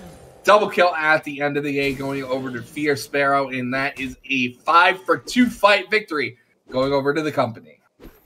Pretty good news for them there as they mount up over 5k gold lead. Good stuff. They pick up the second dragon of the game as well. This is their first, so a pretty long way from the Dragon Soul, but you know, getting there nonetheless. Oh, that's and, another uh, cloud. That's no fun. Oh, Cloud's the best one. Love me some Cloud. Um, a lot more ultimates okay, if somebody does pick up the soul. Oh yeah, yeah, no, it's great. It's it's really good stuff. Get that 30 second cooldown on the Ragnarok, and you have speed shrines all perfect. no, no, uh, no, no. What what what you need to do is, um, as somebody who offers the top lane, is you get late game Malphite with Cloud Soul, and you literally have a 40 second unstoppable force. I think that is more terrifying than a 30 second Ragnarok cooldown, but that's just me. Probably, yeah. Yeah, and I mean, the passive movement speed from it as well is pretty scary. Um, Carl Sultan may be in trouble here. Boy versus girl, no empowered abilities. Uh, and needs another cheese wheel. Doesn't look good. It's not a cheese wheel, it's an ice shard. For sure, for sure. Um, not that I don't get your reference, but it, it's not thematically correct with the skin. It's a it's a Gouda ice shard, one of those one of those cheddar ice shards. Um. nah, I, I think Malphite. If Malphite was a cheese, I feel like he'd be brie. Mmm, it's a good one. I like that. But uh, Kuma bot lane shows in the wave, starts moving up to the top side here. Um, so we're looking at about... look at the lull state. Wow. Yeah, definite solid lull state right now. Um, Ellis would be proud. Ellis and uh, Valdez would be very proud of this lull state right now. Um, but um, right now we have Rift Herald available on the side of the company. Mid laners are side laning, top laners are side laning. And I do want to note that a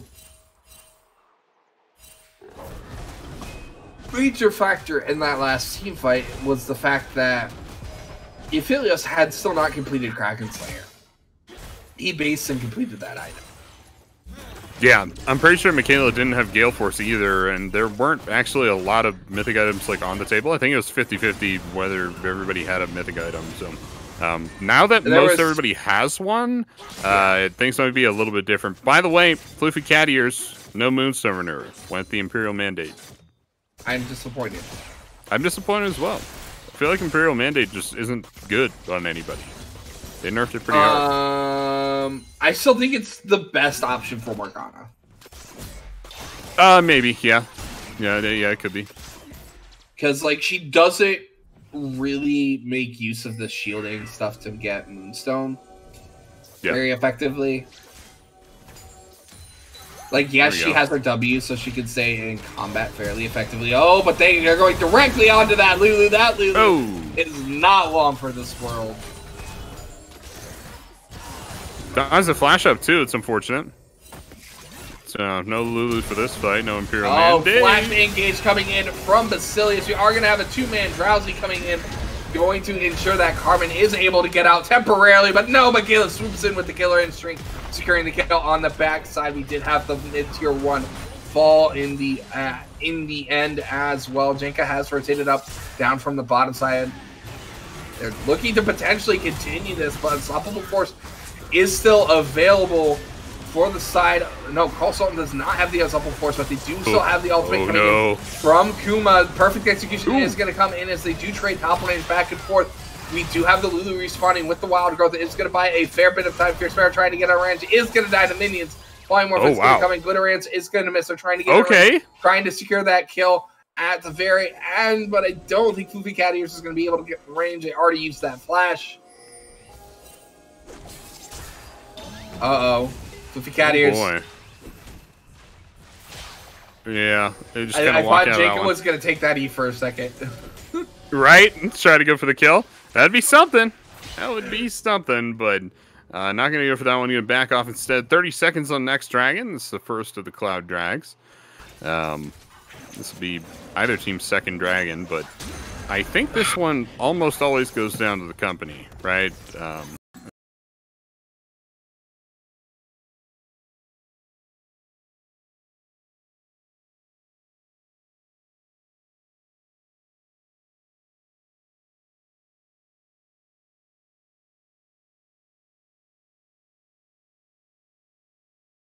that series 2-0 here.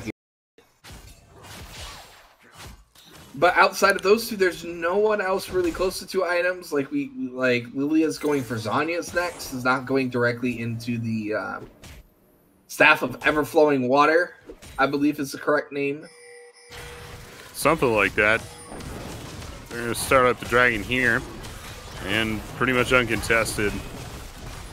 Yeah, nothing really to be done about that. The 5k gold lead is pretty ending.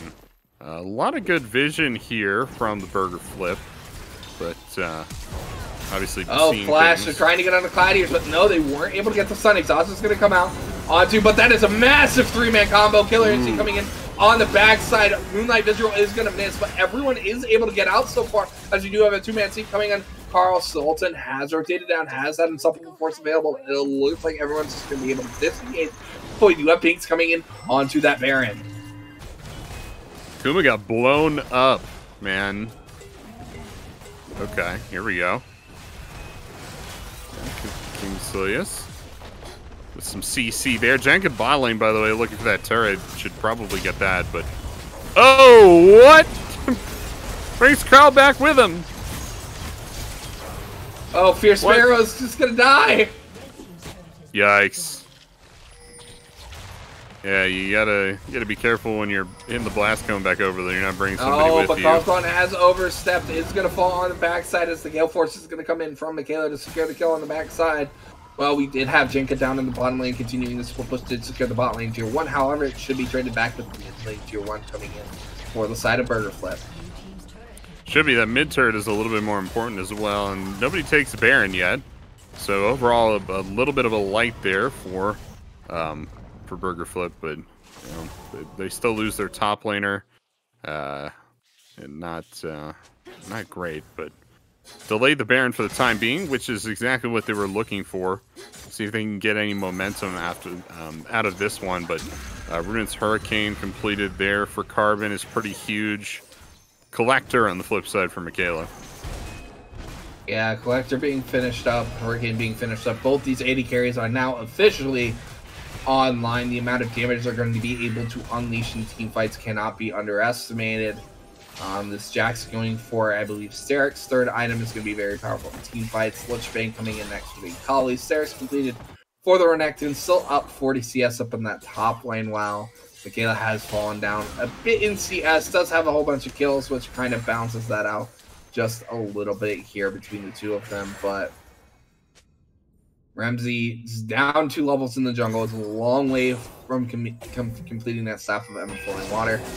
Um, they are going to go in with a little Lilting Lullaby, but the stopwatch is going to come in. We do have the immediate follow up with the also with the Nether Splash. Should be a, a dead Akali, but it is going to be traded back with a kill on the Renzi. Carbon's trying to get the disengage. It's not going to be able to as Michaela goes godlike on the Kai'Sa and trying to get the kill down the Floofy Cat ears. Floofy Cat ears is going to flash out. We do have Carson is here. Does have a juicy ultimate Ooh. coming in, but he's got no follow up damage. He is all by himself on this rock. He is a rock between two other rocks, and those rocks are a lot bigger than he is.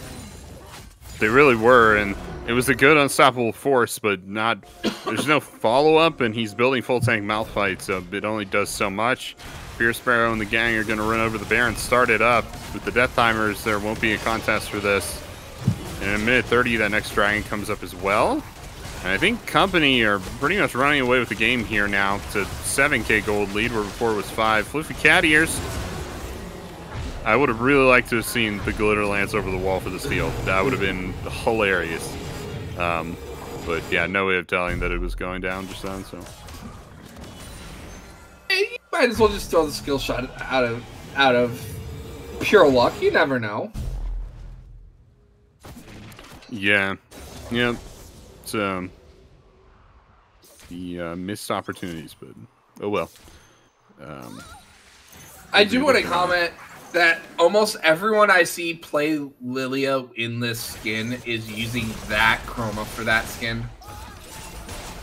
Oh, the the ash one, yeah, that's a Yeah. really good chroma. I like that one for uh, Kindred as well for that skin line. It's really yeah, cool. I think almost every time I see this skin in professional play, they're playing this specific chroma.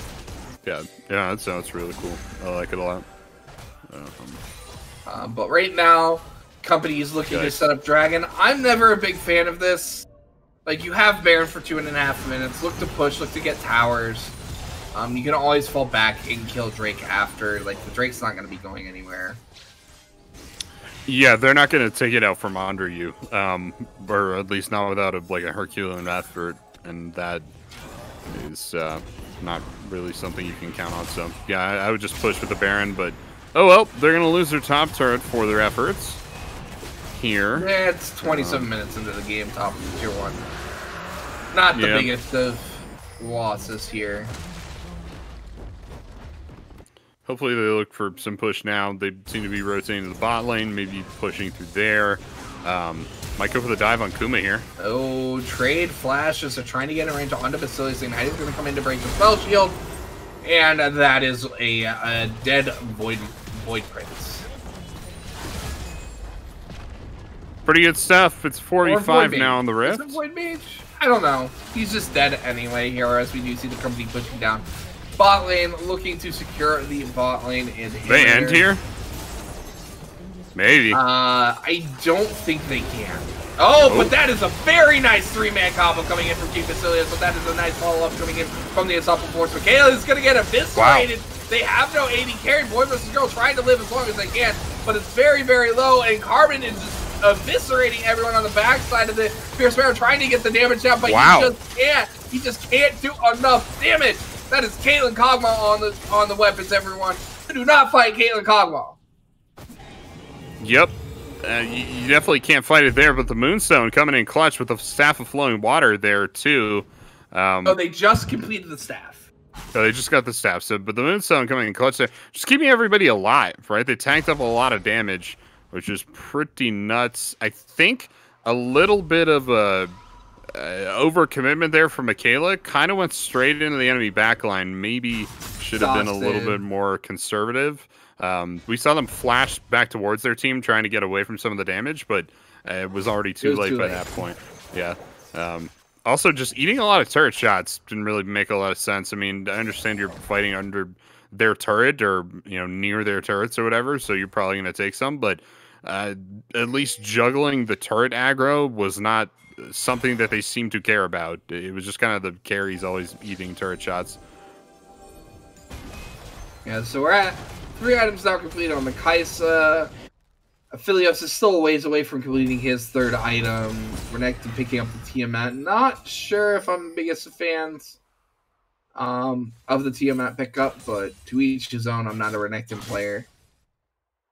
Uh, Morella's coming in next for the Malzahar. Lulu has picked up the Ardent Censer. Okay, so as a support main, there there's something that I heard um, that a lot of high elo supports. No, they're all saying you should never build Ardent Censer. That you should always build Staff of Ever Flowing Water. It's just better. Yeah, that was my um, assessment as well. Is that you just, you just go for the staff, but yikes, Carl Salden caught out of Ah. position here. Yeah, but he's still a very tanky. We do have a massive Lilting Lullaby coming in on the backside. Remy is going to go golden here, but a lot of damage is coming out. We do have the headbutt Ooh. coming in, knocking Carbon What? out of the fight, as that is two immediately gone. We do have Moonlight Visible, Vis- Vigil coming in. That is a lot of damage, but you are not tanky enough to face take that much damage coming in. That is an ace coming in from the company. Company is going to take this series 2 0 ending this game in about 31 minutes, and that was just a much cleaner game coming in from the company here in game number two. Yeah, and a 10k gold lead to boot. Pretty commanding lead there. Um, little hiccup there on the back end, maybe a little bit of weakness here from the company, but uh, other than that, it was a pretty, pretty good win, pretty solid first series of uh, of the league this go around. Yeah, very good performances coming in from the side of the company here. I I think a lot of it I want to put on like game number one. I thought a lot of what Jenka did was really good. King Basilius had good engages in both games, and Fear versus Sparrow just found ways to get ganks off on champions you don't expect to get ganks off on with.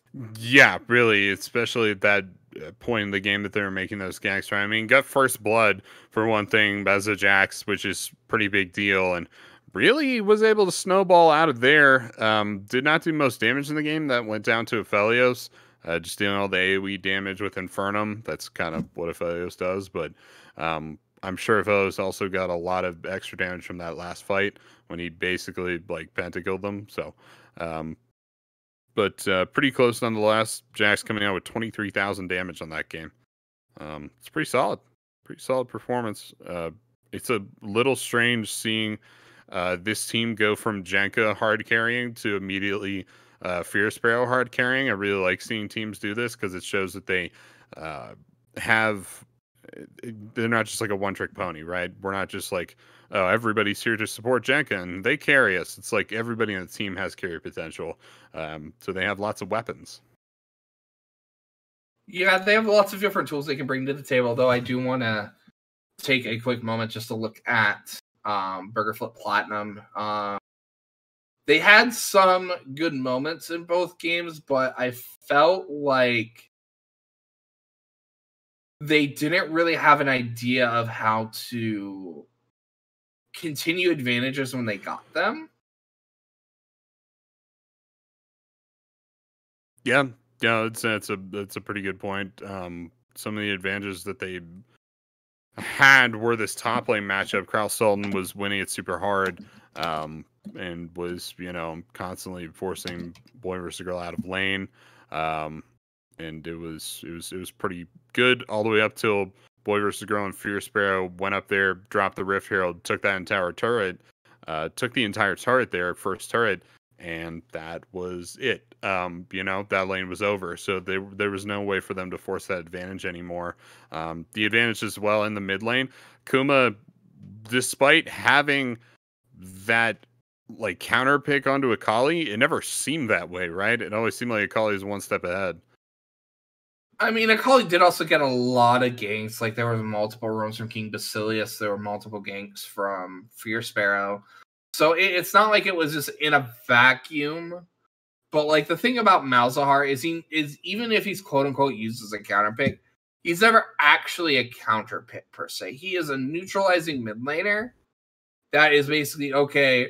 You can't kill me one v one. I can't kill you one v one unless one of us screws up, essentially.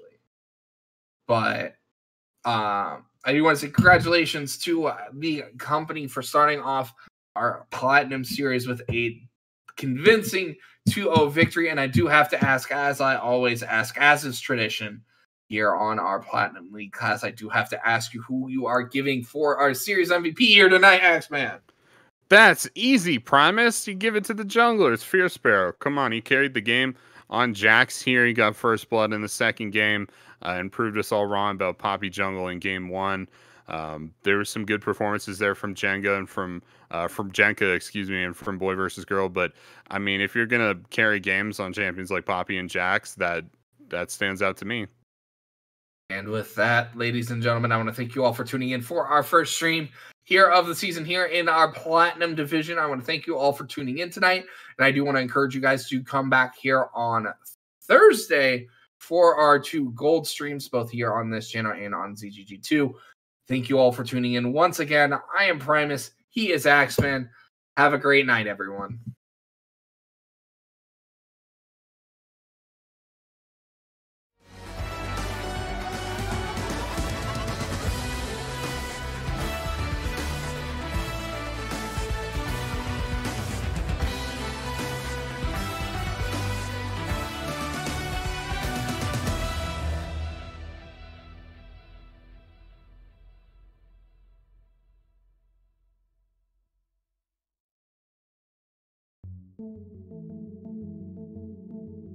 Thank